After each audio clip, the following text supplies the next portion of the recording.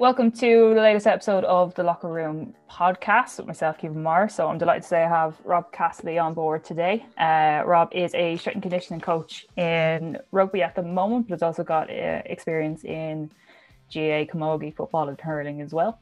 Uh, Rob, how are you? Good, good, flying. I have to obviously ask everyone how is COVID treating you? Yeah, it's not too bad. I'm probably getting more training now than I've ever done in my life, which is great. Um, obviously evenings being freed up. Um, I suppose not being with teams as much as you normally would be, or taking it online or whatever.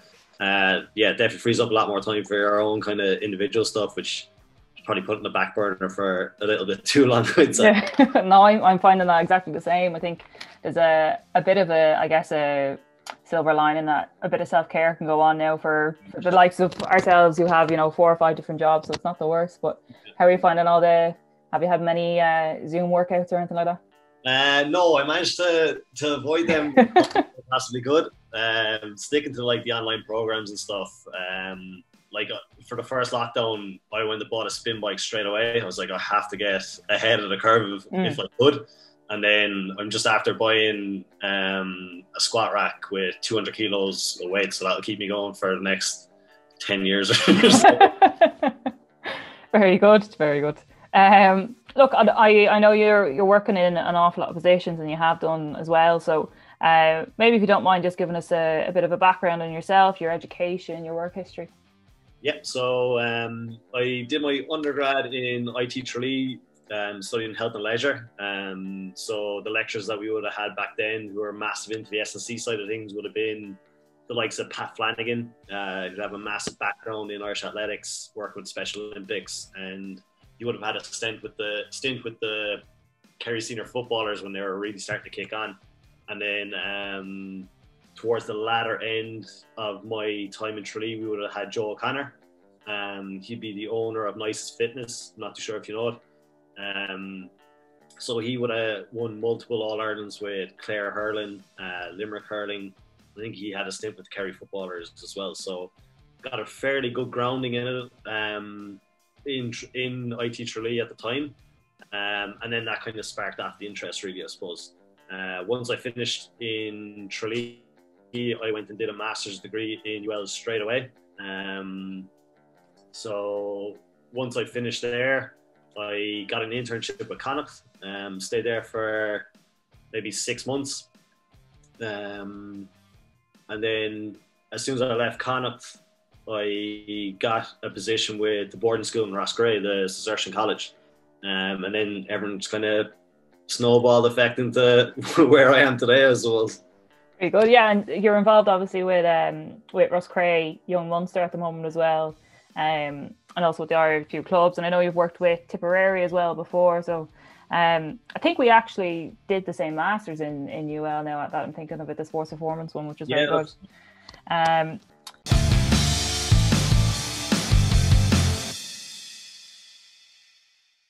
my first question then if we sort of dip into your your early days and the internship maybe and your, your work with Tipperary then moving into to rugby. So how did you find all of that? Um the internship was really really interesting. Um like being involved in that kind of environment every single day it's like it's the reason you went to college to study it. It's the reason you invested five six years of your life to to get there. Um a lot of people go into college and they they might not have that drive to become an S&C coach to work in professional sport or whatever, or like all the different streams that they could actually go into. Um, so yeah, look, it was great to actually get it, get your foot in the door and to coach some unbelievable athletes. Uh, long, really, really long days. That's probably the one thing I remember most from uh, from Connacht. Um, I wasn't commuting up and down. I was actually renting up there at the time, and even like you're you're in there for six a.m. and you're not getting home until six, seven in the evening. Like, yeah, yeah. Uh, you're literally prepping meals for the next day for lunch, um, eating it in the gym, and going home, go to bed, and just repeat, repeat, repeat. Um, no, it was tough.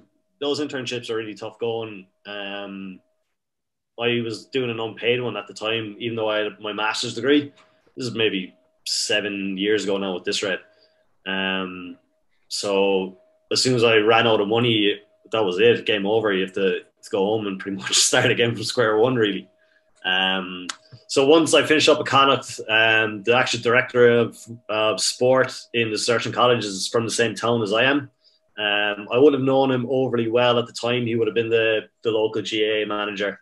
Um, and he heard that I was involved with Connacht. Um, and then he just got in touch with me asking me, did I want to to come in as S&C coach for the for the senior cup team in Roscrea. Oh, excellent! Yeah, very good. And your your time in Roscrea, have you obviously it's a a big rugby school and everything. So did you have you know sort of a good basis to work with? Were you building stuff from scratch? How was it? Um, my first year there was actually the year we won the senior cup, um, and we didn't even have a squat rack. Mm. We had a rack of dumbbells, some real old gym matting, and you just had to get really, really creative about how you actually roll programs and how to progressively overload and all this kind of stuff. So, yeah, it was not really, it was nothing fancy. It was just get in, a bit of hard work, a bit of grunt, and I suppose like it's probably what Roscrea is known for the most. um, but yeah, no, we we're really lucky that year. We had some unbelievable athletes come through the program.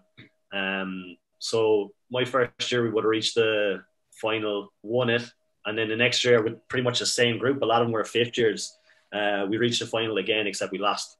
Pretty sure it was the same team. I think it was about there as well. Yeah, it was a replay. Yeah. Yeah. Um, no, that's that's that's very cool. And like, I guess how do you how what would your opinion be on how they were successful then if they didn't actually have any sort of form of strength conditioning work? Um, yeah, it's kind of hard to kind of hard to put a figure or a number on it because at the time there was no KPIs. There was very little. We we did do video analysis, but on the S&C side, there was no real structure put into it. Um, and I suppose when they're at that stage in the in their program where they're fifth to sixth years, as soon as they look at a dumbbell, they'll probably get massive gains straight away. Yeah, yeah. Um, so yeah, to be honest, it was probably one of the easier jobs that I took on at the time because no matter what you did, nearly everything worked with them. Yeah. Um, like now, when I go into the boarding school now, I think I'm there about six or seven years now, and things are way different to what it was at the beginning.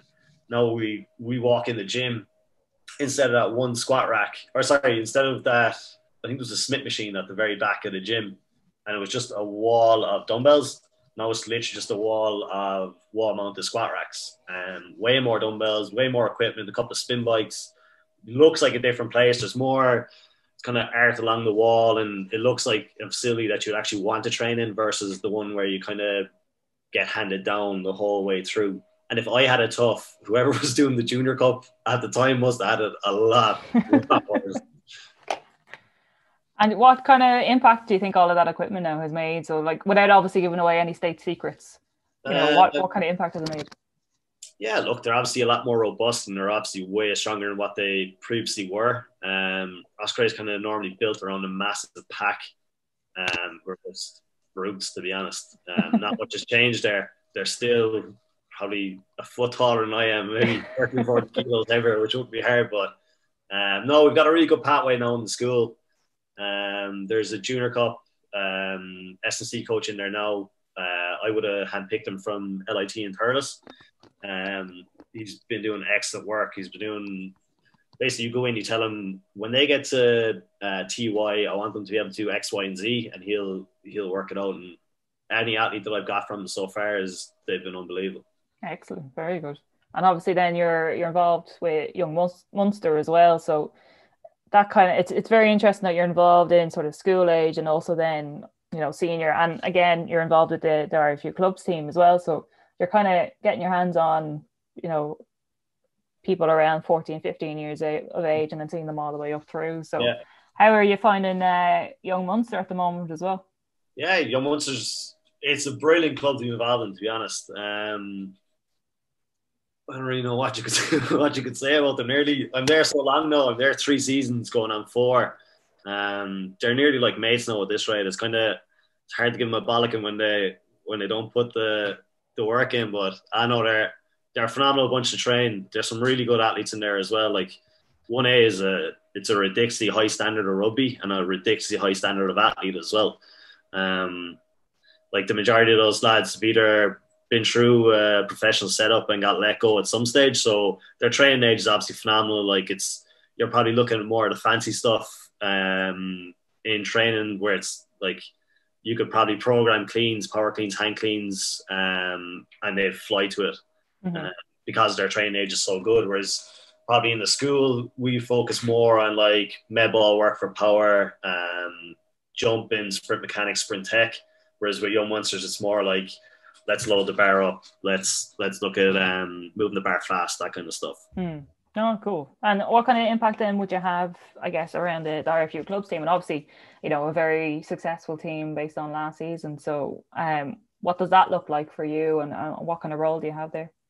Um, yeah, it's a real interesting one. Um, basically, our our head coach in Young Munsters got named the the head coach for the Irish club side, uh, and he rang me straight away, asked me would I be interested, and I was like, absolutely.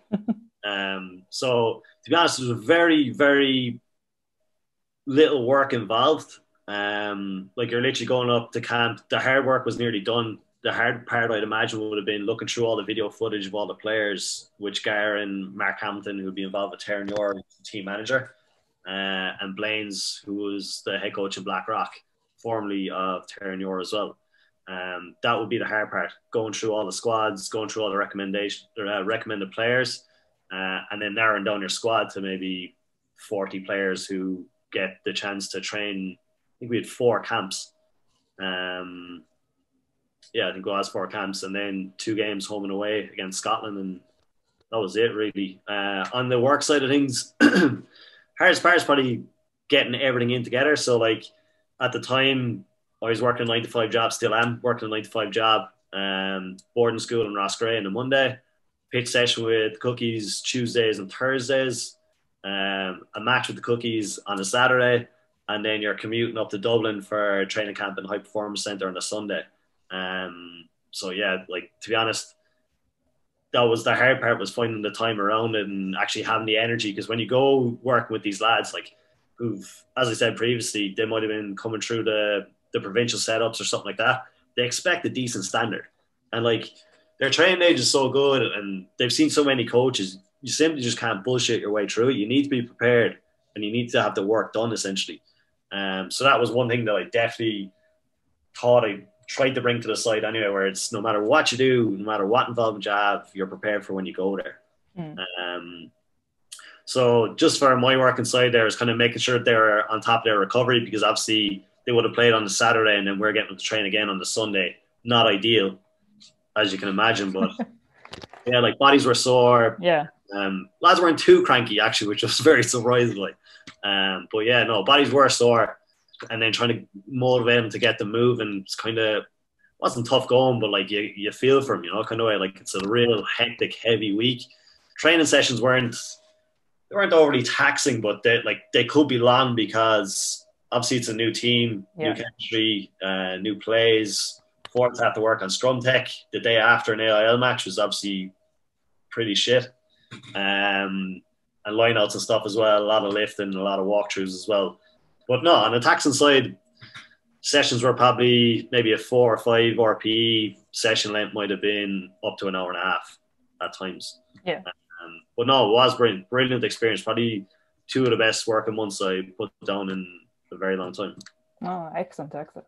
And obviously, then you've worked as well in sort of GAA and Camogie. Um, I know you were with Tipperary there for a while and, and helped a lot out with um, the academy system. So, to go from one sport to the other, how did you find the work with with Tip? Uh, yeah, it was it was kind of similar to working in the board school. Obviously, it's a very similar age group. So I would have taken the under 12s, under 14s, 15s, 16s, and 17s. Um, they would have got a 45 minute gym slot. Um, there, they would have got like an introduction to foam rolling, uh, general mobility, sprint tech, resistance training, and then send them on their way. Um, we would have had a really good system in place. To be fair, I think the first year we did it, there was something like 23 uh, hurlers and footballers involved in the program to begin with, um, and that's going from under 12s all the way up to their under 17s. And then I think my last year doing it, there was 150 in wow, total. Yeah. So it, it did take off pretty well. Um, it was a good system for the simple fact that it was based in the LIT Thurles campus with the sports lab, LIT Sports Lab. It's where Santa College run their uh, workshops and stuff. state of the art facility is probably worth a couple of million. Uh, so like you literally have any toy, any sports science equipment that you ever possibly dreamed of, it's there for you. Um, so we used an awful lot of testing. Probably the main difference between the GAA and uh, rugby, they're so into their testing in comparison okay. to rugby. I found, uh, and obviously, like their training age would be completely different to that of a rugby player the same age. Um, like you're going in and you're you're teaching them how to do just a body weight push up and they're really struggling. So like real simple basic adaptations and progressions for every single exercise is probably the most important thing. Whereas on the rugby side of things, if you told them to bang out 10 reps of 10 quality bodyweight push ups, they do it in their sleep. Um, so what we would have done was for every age group, it would have been myself um, and one other person, one other S&C coach, and we would have basically um, wrote out the program for how we wanted it to run. So we would have ran a four week block of just um, just an AA phase, basically, mm-hmm. uh, real lightweight, uh, high reps, just trying to get them to move better, and then we would have screened them. So this, the testing that we would have done would have been for height, weight, uh, limb length. Um, because one of the lectures in LIT was studying peak height velocity for his PhD, so we we threw it in for that as well. Um, so that would have been that the anthropometric stuff sorted. Then we would have done um, overhead squat, pretty much all the FMS tests there was. Yeah. Um, we would have done a CMJ test, a 10, 30 meter sprint test, and a yo-yo intermittent test, and I think it was um, a chin-up test as well. So like, there's a good bank of data there for them to to see where they're at. Uh, we would have done reports on it and stuff like that to see where they were in comparison to everyone else their age group. Um, so then once we got the test results back, what we would have done was we would have ran a traffic light system. So if you scored a zero or a one in your overhead squat, you'd be put in a red group. A red, um, a red for a squat might look something like uh, heels elevated with uh, a mini band around your knees. An orange might look like um, a goblet squat. A green might look like a front squat. And then we would have done like a blue and gold for like the Tipperary colors uh, which might be something like a back squat. Mm-hmm. So we would have done that for every single exercise movement there was. So your squat, your push, your pull, your hinge, your jump, your single leg work, um, everything. Everything would be color coded. The the kids would know, or the athletes, whatever whatever way you want to see it, is they know what group that they're meant to go into. Um, and that they're getting the right dose of whatever exercise that they need at the time. So if you go in, your squat is good, you might be a green, but your upper body might be weak, so you might be a red on that. So they're getting a decent stimulus put into them for what they need at the time, and you're kind of trying to promote what they're good at, and it's nearly like an injustice not to not to load them on whatever they can be good at nearly if that makes sense. Yeah yeah yeah. Like let them do what what they're able to do. And that's yeah that, that's very interesting. So basically, you're you're going after sort of those base level strength components and making sure that they can control their body weight first and foremost before we do anything else. And like what, um, we noticed, what, we noticed, the most was uh, we tested every eight weeks. So okay. we take their height and their body weight. You'd see massive jumps because they're obviously going through puberty at the time. Um, like some kids were were going growing a couple of centimeters in the week in the six to eight week block, and they're going like, where the hell? then you notice that their coordination would start going crazy. Um, any balance work we did, any single leg stuff, they might find very difficult. Um, and then you you know because you just look at your numbers and you you peg it straight away. Um, it was good as well at Tipperary Academy because we took a lot of students in from LIT as well. Yeah. Um, so like you're nearly trying to bring them in get them their first kind of bit of coaching in as well, giving them feedback, letting them run sessions, and then for a finish, I was really just trying to overview and plan and run everything and let them do all the coaching on it.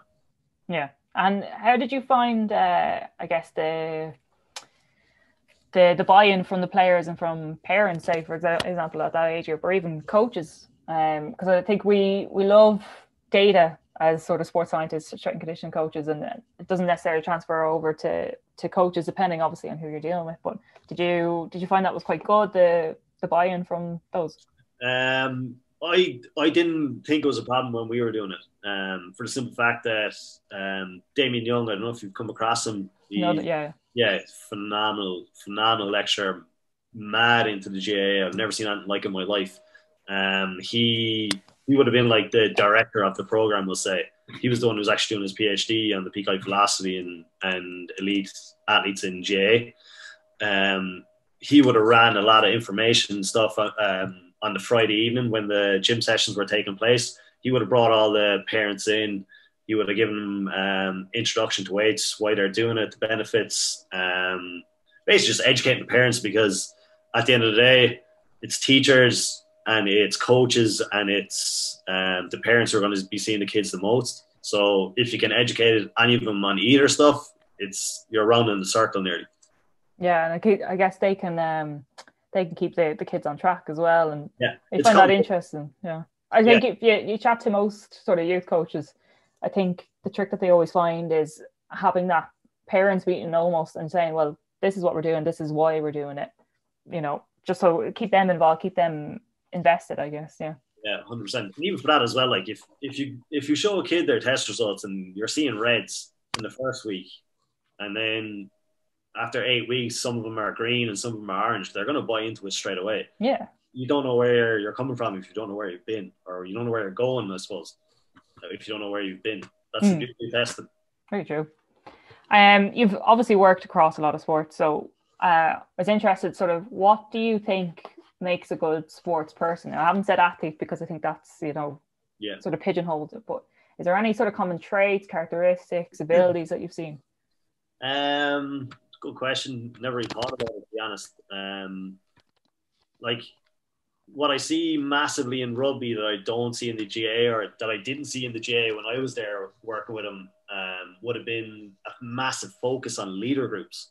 Okay. Um, so with the cookies, for example, I think we've got a group of four or five players who that basically I collect data from after every session. They'll throw their RPs in. Um, I'll log it over the weeks but if any issues arise in the club, they'll throw it in and then they basically get me to sort it for them essentially. Um, so it could be anything like training is going on too long, intensity needs to go up, blah blah blah, whatever it is, whatever issue it is. I'm kind of like the mediator between the two groups, nearly between the coaches and myself and the players. Um, it's funny, like there's leadership means it's so broad. Yeah. Like it's very hard to put a put a name to anything or a trait to anything. Like our captain, for example, he was captain, captain of the Young Munsters, captain of the Irish clubs. He's a man that literally just demands respect. Mm. Like he's six foot four, six foot five, probably about eight to ten percent body fat, moves phenomenally well, is strong as an ox, and he just goes out and leads by example. By the way, he lives his life. He's a personal trainer, so he's in great nick. Um, then you've got other lads who are really quiet don't like talking to the group, but will do every single thing right. Um, and that's something that you kind of have to admire as well. Mm. So I guess yeah, leadership qualities is probably a, a, massive thing to sort of look out for, and I guess it's uh, difficult to pick those up at you know when they're twelve or thirteen years of age. But what it's I guess it's a bonus of being involved with them through a system that you get to see them grow. It's like the more years you spend with a group, the more the more you're going to be able to invest time into them. The more time you invest, if you're if you're promoting the right thing, like um, I do something with the school and with the with your monsters where after every game or after every training session they have to bank a certain amount of recovery points. Mm-hmm. Um, and if stuff like that is being nailed into them every single opportunity after every single training session, and they keep hearing it, hearing it, hearing it, eventually something is going to stick. Uh, so yeah, I suppose it, pick your big rocks and then just try hammer them home really as much as you can. And like the beauty of working with kids at that age group is they're sponges. They will literally learn and take in information so easy, so quick. So it's real easy to mold them into whatever way of training that you want them to train. Um, like I suppose you're never going to get a 16 year old. Uh, if you see him in the gym during his own time, 90% of the time he's either doing a bench press or he's doing bicep, bicep curl. so no, you'll never see that in any of the programs that uh, that they do with me supervised sessions. Oh, yeah, you can't put beach weights down. You know, you never you never know what what might help. Um, Say again. You'll never know what holiday is coming up. Very true. Um, okay, so we'll, we'll push on then to sort of uh, your work around AIL and then up to international rugby as well. Um, again, obviously you're involved with, with Young Munster and with the IRFU clubs team. Um, I think you spoke to a little bit there about, uh, you know, how typically the guys that you're getting up to the, the clubs team are have, probably have a very good training age or pretty robust already. And um, like, do you sort of, is there anything that you're, you're sort of screening for, looking for, any red flags or anything that you know you might need to just work on immediately because I guess they're they're going to come up to you. They're already probably you know strong enough, quick enough, agile enough to play the game, obviously. Um, and it you know from what you've said, maybe it's not too much of a leap up to that sort of IRFU clubs team. But is there anything I guess that you you're you're sort of looking for to sort of fix? In, um, it's funny, like AIL is so crazy. It's it's so intense at times. Like you know that there's a possibility that on a Saturday that you're going to be coming up um, facing a team that might be stacked with provincial players in the academy system, and you might have a prop that only made one training session that week. Um, not to be picking on props, but nine out of ten it is then. Um, yeah, so like a lot of things, a lot of things are unbelievable. Um, but then there's an awful lot of work ons as well. But I remember when I went in at the start, I was like, oh, I'm going to change this, this, and this, and things are going to be run so much smoother. And then you just have to get to the stage when you realize that these lads aren't professional rugby players. No matter how much you want them to be, they they just aren't. Like Young Munsters are very much working class uh, club. There's we've got an awful lot of lads labouring. Um, we've got an awful lot of students. It's a fairly relatively young team. Um, but like you can't expect them to be ripping the hinges off the door if they're just after you're working from seven in the morning till five on a building site. Uh, it just doesn't work. So at the start, I was kind of like, I kind of adopted the strategy of tough shit. You're gonna do it, and now three years later, when you get to know them more, and they're like they start t- trusting you more, um, and like if you show them that you care, they'll buy into what you're trying to do straight away. And if some one of the players comes up to me and he goes, "Geez, I'm wrecked from work today," I'll go, "We'll cut we'll cut you from conditioning, or we'll take out some of your main lifts or something like that." Um, like there there are some there's some phenomenal athletes in the league. Especially like Young Munsters does have an awful lot of really solid athletes. Um, training ages are unbelievable, move really well. Probably at the start, what I would have tried doing is um, bring in like a screening process, like a questionnaire that they'll have to uh, fill out pre-training, post-training. It just doesn't work. It doesn't work. The time investment that goes into it versus a working class club like Young Munsters, they just don't see the benefit of it. They don't understand why they're doing it, or to be honest, they probably just don't want to do it. Mm-hmm. So probably year one, I was trying to put a massive emphasis on it, and then I just realized that some things just do not work no matter how much you want. um, so the only way I track load really is by doing SRPs. Okay. Um, bang your RP onto me after training session in the leader group, uh, and then I'll log that uh, for the week, for the month coming up to games. Um, yeah, that's about it really. Um, it sounds like as well that you sort of built a good um, I guess a, an athlete coach relationship there that they they know that they can come up and sort of chat to you if they're they're feeling down. Do you, how important is that? Do you think? Yeah, it's so important. Like I make I try to make sure that I talk to at least everyone in the week. It's near impossible to get around to everyone in a training session, but I'll make a fair whack at it. Like training might start at seven p.m. in the evening. I'll be there at six because normally there's a group of lads who some teachers there, some office workers, and they'll be in the gym doing their own. Um, their own individual stuff, more than likely bench pressing or white side curls, as we mentioned. uh, go in and have a chat with them, have the crack. They'll tell you how they're feeling. Um, look, working with AIL teams and working with teams for a period of time, like like this is my third, fourth season with them.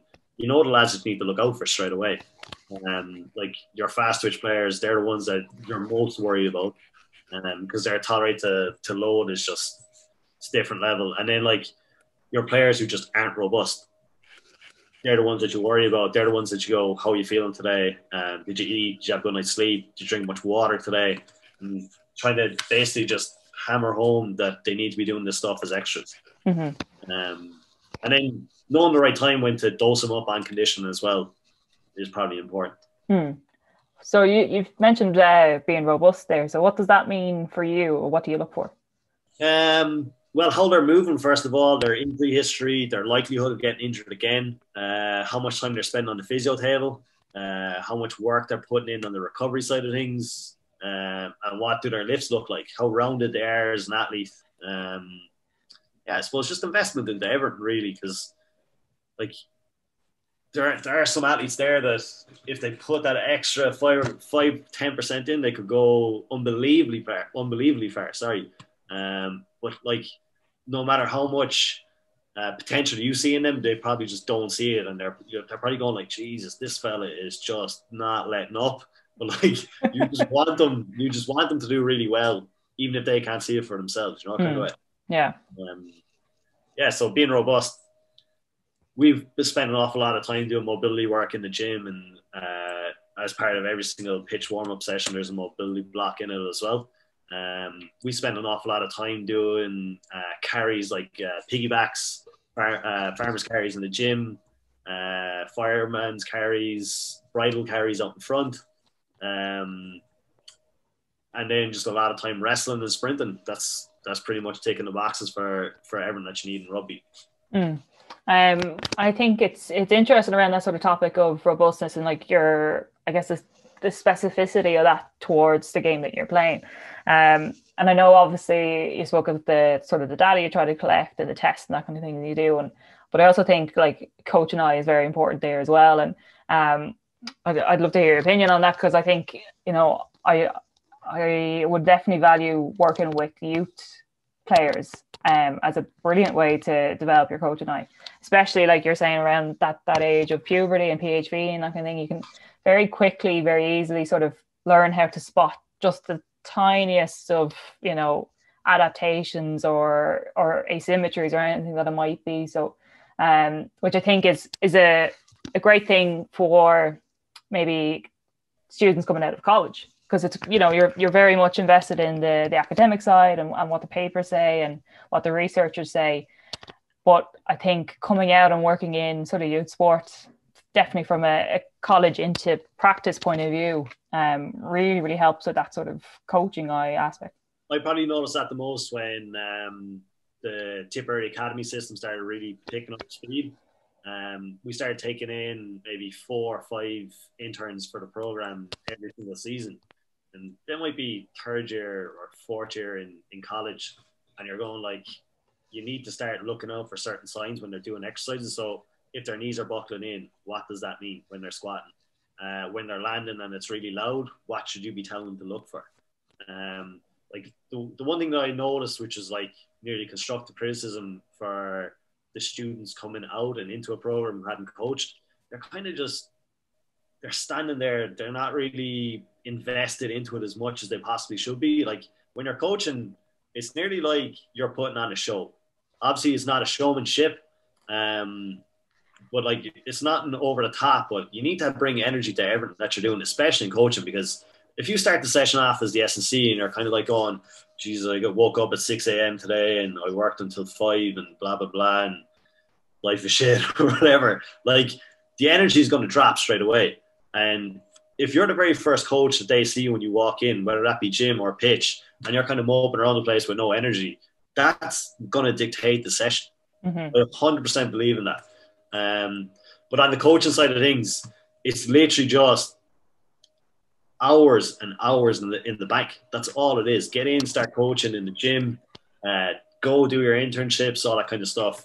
But it's just hours. Look, knowing to look out for certain things, and it's just hours in the in the bank. That's all. That's the only way I can put it.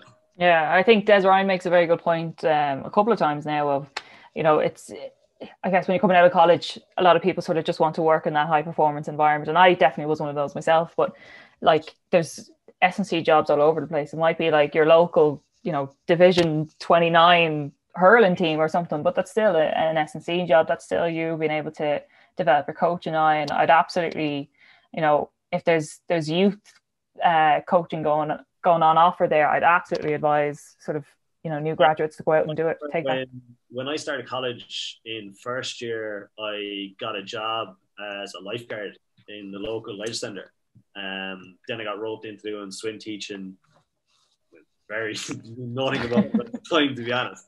Uh, got the qualification through college, um, and then ever since first year, I was I was coaching on the gym floor then as well, trying to break away from it, from the swim side of things, from your lifeguard swim teaching, where it's enjoyable, it's good crack, but it's not where you really want to end up or want to be. So managed to make the split away from that side of things, but swim swim teaching was an unbelievable grounding in the coaching.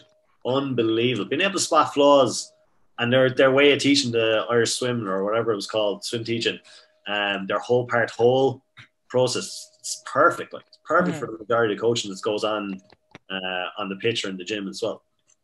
You can even find it's, it's it is crazy that you can find a transference from something as you know like swimming into rugby. Like it all coaching is coaching as as long as you're you're at it, you're doing well. I think. Um, okay, uh, around sort of your sort of, I think you've spoken about the robustness and that kind of thing.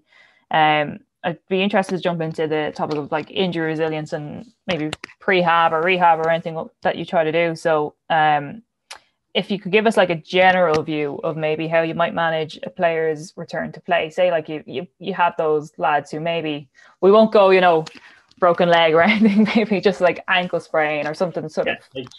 It, it's a pretty decent uh, return to play program that we run in Young Munsters at the minute. Um, normally, what happens is get injured playing on the Saturday. Uh, they'll go see the physio on the Monday, which will be our first session of the week. Uh, the physio will do a diagnosis, diagnosis on whatever the injury is. He'll tell me what he can, can't do, or give me certain guidelines that I need to be aiming for. So normally, what we'll do is if they're coming back from a hamstring injury, let's just say, or a twisted ankle, uh, are they stable on the ankle? Can they get up the gears from 50% straight line, 60, 70, 80, 90? Um, if they feel pain, cap it straight away.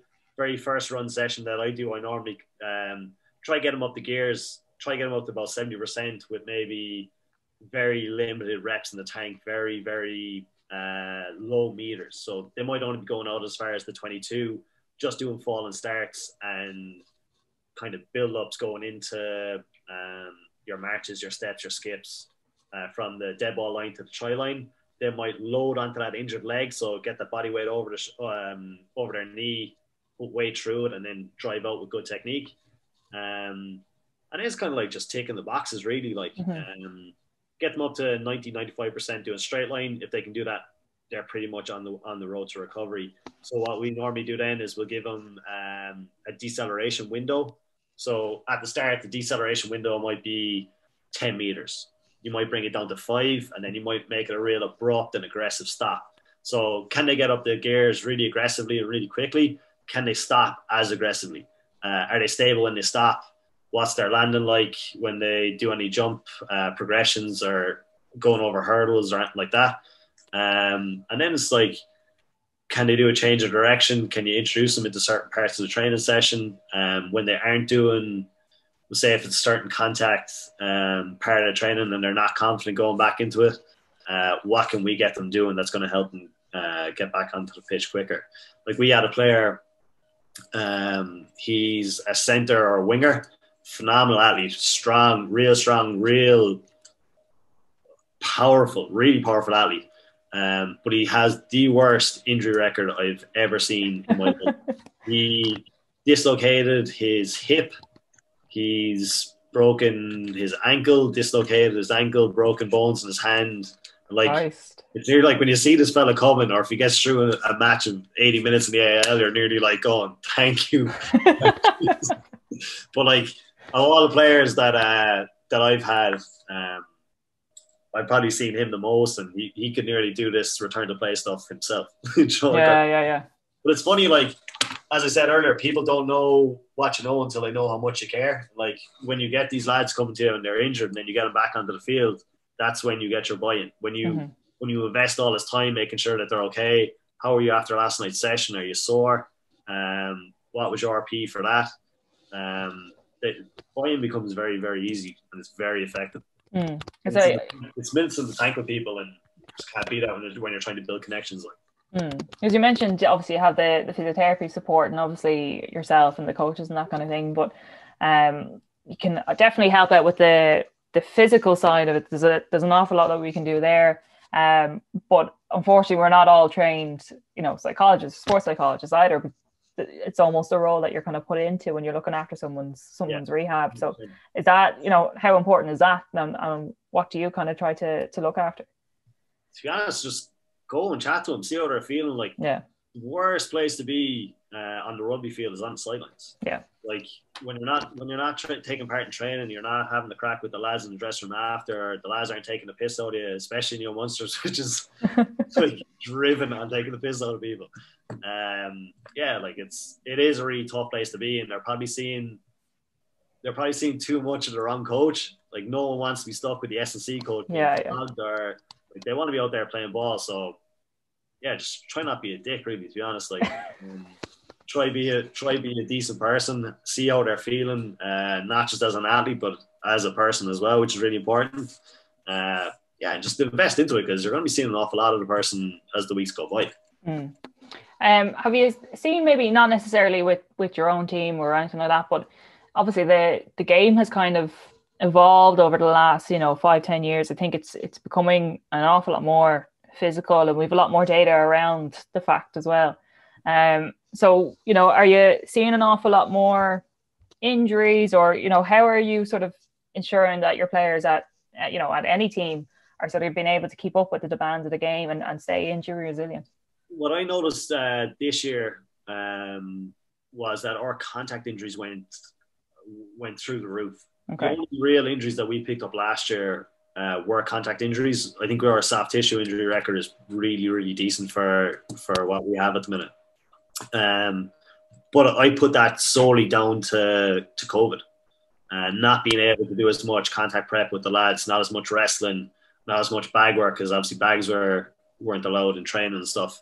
And then then they're going into matches and they're absolutely hammering each other and they're picking up injuries and it, it honestly was probably this season was probably the toughest season I put down as an S&C coach for the simple fact that probably had what three preseasons with all the start stop play, um, and then players getting injured through contact, which you which you knew was going to happen anyway, which is probably the most frustrating part. But there's nothing that you could do. Mm-hmm. Dead legs went went up through the roof, which I'd never seen before in any of the teams I've been with, but it makes sense. Um, yeah, to be honest, soft tissue isn't really something that we're overly worried about in the club. Um, obviously, you're one or two players who you would earmark who you might pull from condition early, or you might change their condition in comparison to the majority. Um, but yeah, like I'm fortunate enough to be with them for three or four years now, so I know the lads that you need to worry about. Um, and then like for players who are injured and they're trying to come back into training, that you're trying to mind them as much as you can, uh, pull them from trails that they shouldn't be in, or maybe saying that the coach is going, you can only get 40 minutes out of this player today, maximum. And then, in fairness to the lads, uh, Gearoid Prendergast and Jaroslav, very good about it. Um, they know that they, they know that 40 minutes is better than being out for another extended period of time. So they are good about it, to be fair. Mm. It sounds like you're you're very more. It's more so like player focused, you know, injury resilience kind of work and you, you know what their history is like and what you know what maybe they're capable of doing what they should be doing. Would you be type of person who would kind of look at say you know along the lines of the the, the new IRFU um what's it called the IRIS study or any you know looking at trends for say particular positions or levels or that kind of thing? Um yeah I actually I collected data for the IRIS uh, program last year, and I actually sat on one of the IRIS projects on Tuesday evening. Um, on Patrick Dolan's uh, thing, he's trying to generate a warm up plan for AIL coaches, and I think it's kind of geared more towards uh, lower divisions that the club might not be able to afford an S&C coach or whatever situation it might be. Um, in regards to players who are, are sorry, positional demands affecting injury, is it? Yeah. You know what you're going to be looking at, really, isn't it? It's going to be um, your backs are looking at high speed meters, so the likelihood of being a, muscular injury is probably higher. Uh, your centers are going to come into an awful lot of collisions, so it's going to be a contact injury, and then your forwards are just going to be running into stuff really aggressively, really hard. So, like, what we see an awful lot is um, is neck issues for our front row. Um, so it might be stiffness after games. Don't really see any lower limb issues. Second rows are pretty robust anyway. Flankers are are your athletes in the team. They're going to pick up your contact injuries if they're going to see it. Uh, the majority of injuries that we see being picked up is uh, our AC injuries, which come through contact. Mm. Um, because the collisions that they do go into, they're some of the hits in the AIL are they're sick, like absolutely sick. So, and probably it's not at the highest standard. It's not professional, so tackle tech is probably an issue as well. But yeah, to be honest, they're they are robust enough based on positional demands. You pretty much know what what injuries are going to be coming and when they come. Mm. And in the six or seven years that you've been involved at the the AIL team, have you seen maybe any major changes to the game itself? Like, is it a lot more? Obviously, there's real changes in that kind, but is yeah. there any physicality changes? Uh, probably noticed it more last year. Um, was probably the first time. Maybe the way we ch- we kind of tried changing the way that we played the game. Uh, how the how the coaches want them to be conditioned for that game, uh, which is massively important because I think in my first year there was no chat about that. Um, probably work with a new S&C coach at the time. They they probably didn't know what to what they were expecting out of it, um, what relationship that you had back then versus what you have now. Probably channels of communication are way more open. Uh, kind of, it's an interesting one because you see that the nine's getting to more rucks now and hitting ball really, really fast. Um, and the ball is going to be moving way faster next season again. So they're going to have to be more robust, more resilient, and more high speed meters. That's pretty much what it's looking at. Um, like the days of having slow ball now, in especially in Tom Clifford Park, which we probably which we probably thrived on previously, which probably isn't going to happen anymore. Uh, props are probably we're lucky now this year we've got a really decent front row. Um, like we probably have two, three pop, props who can play your 80 minutes comfortably, which you don't really see in the AIL anymore. Even in the program, you never see a prop. Maybe Andrew Porter at the minute is probably the only one who's clocking 80 minutes every week. Um, but yeah, I think that they're going to perhaps probably are more mobile than what they've ever been previously. Um, and are a lot more athletic. They, they move an awful lot better, especially when you're like for the Irish clubs, for example, like the standard of athlete in there was something like AIL is good. Irish clubs was unbelievable for such a small step up. You're getting you're getting the cream of the crop essentially. Um, and uh, there was a real athletic, decent athletic base in in in the squad, so it was lucky. Mm. How was that experience going to going across to, to Scotland and and? That was brilliant. It's brilliant. trying to think of some of the memories there. Um, no, it was brilliant. Honestly, um, getting to live the life of a pro S&C coach is yeah. it's the dream. Really, it's the reason you go to college for all that length of time. Um, and plus, like the backroom team that we had then was was unbelievable. It was, it was brilliant because it was really comfortable. Uh, the old Munster S&C coach was the head coach of the Irish clubs. Uh, our video analyst was the Cookies video analyst as well. Um, and then Mark Hamilton was just the best. He's unbelievable. Uh, he's the Terenure uh, manager as well. And if you wanted anything done, it was done like that. and he was just great crack, and he kind of just went that extra mile to get things sorted for you, or even equipment laid out, or it was and small little details. He just had it down to a T.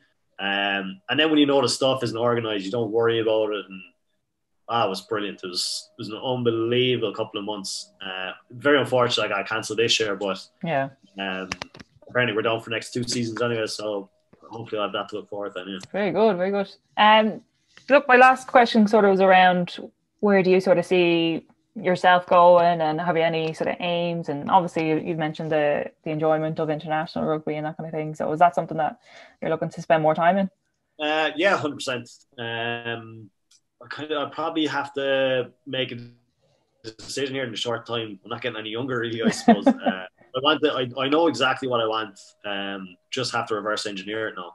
Uh, I want to end up in an academy uh, in a provincial academy in rugby.